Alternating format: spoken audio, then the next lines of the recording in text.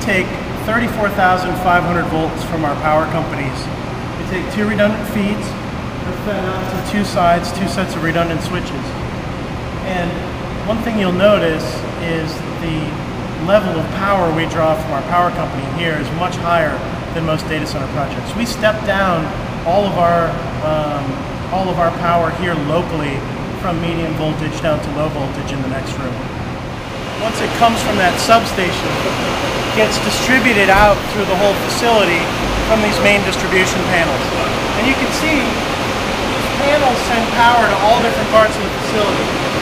This breaker uh, powers a compressor and a chiller. This is a pump and a pump package. Another pump, another compressor and a chiller, and two UPS units.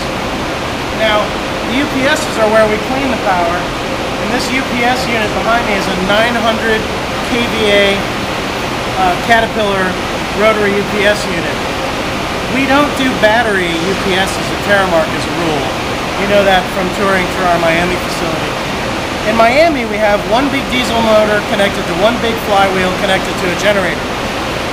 Here at the NAP of the Capital region, we separate those out. So the generators are outside in the building. The flywheels are here in this cabinet, and we use multiple flywheels in Culpeper. This cabinet has three 660 pound flywheels spinning faster than the hard drive in your computer. They spin at 7,700 RPMs. They carry our load for about 40 seconds in the event of a power failure. We only need 8 seconds to spin up a generator. So if we have a generator failure, we have a swing generator that can also spin up within 8 seconds. So plenty of, plenty of ride-through capacity on these UPS. Almost a megawatt of UPS in there, and we have 110 of those on the campus. About 40 or 50.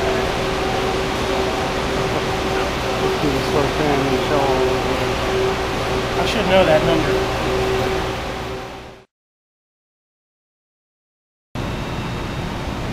I wish the wish the uh, PDUs would close. Very anal about things being neat.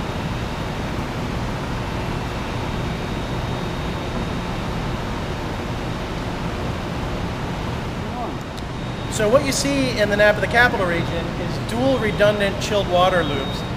Completely separate infrastructure in case there's any failure or interruption of service. We can still cool the floor. You also see these four pipes coming down and going under the floor. Those pipes are used for in-row cooler systems that we use to spot cool very dense customers when needed.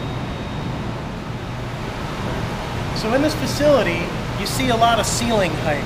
We're very, very high power density here, so we have to move a lot of air to cool the uh, equipment that's consuming all that power. So from the floor to the ceiling, we've got the racks, very low lights so that you've got good uh, illumination inside the racks when you're working. Above, you've got the data layer hanging from the screen unistrut, and then all that space above is for hot air return to get channeled into the top of the CRAC units so that it can get turned into cold, cold air again. What we have here are 500 ton chillers, a whole row of them. They consume an enormous amount of, of energy to make cold water, but on hot days, you don't have a choice. You have to use the compressors in these chillers to make cold water to uh, feed to the, the CRAC units down below us. Green engineering is very important to us, and the more energy we can save, the more cost competitive we can be to our customers. So what we do is when the ambient temperature drops, we use these dry coolers behind us, we call them free coolers. They work just like the radiator in your car. They take cold air from the ambient space, they pass it through a radiator that has our chilled water flowing through it, and it makes cold water in almost a free fashion for us. We run the pump, we run the fan, that's about it. So by shutting down our chillers to save energy when we can, we save almost 30% of energy in the overall operation of the data center. We also store chilled water here in a thermal reserve that you can see down at the end of the roof. This building will, will hold 70,000 gallons of reserve water on the roof eventually, and we use that for thermal reserve. So if we need to do load curtailment, power company calls us and says, can you give us four megawatts? We can shed some load on the chillers, draw down on the thermal reserve for a little while, and still continue to cool the data center. Then at night, we can use the dry coolers when it's cool outside to replenish our thermal reserve. So by managing our energy this way, we operate the data center about 30% less than others in our space, and all that cost savings gets delivered onto the customer uh, in, in the form of cheaper service. And uh, yeah, the runtime was a very important thing for us because this is a very important disaster recovery site for not only federal government customers but mission critical commercial clients as well.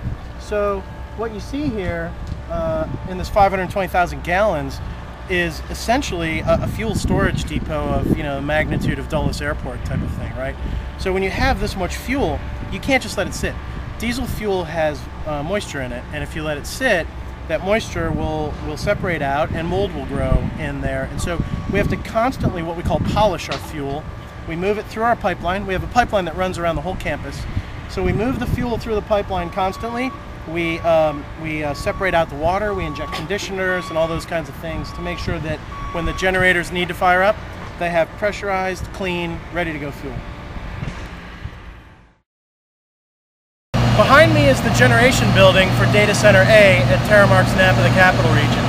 Inside is 11 2.25 megawatt generators. These are, these are diesel generators the size of diesel locomotive engines, 11 of them in this building, two stories tall.